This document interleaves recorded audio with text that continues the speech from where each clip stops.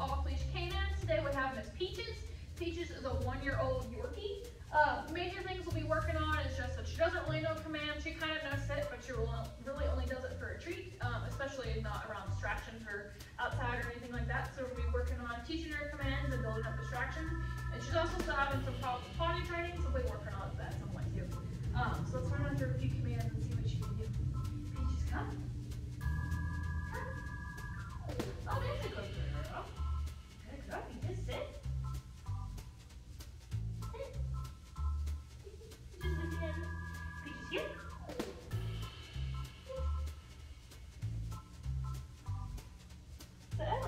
don't know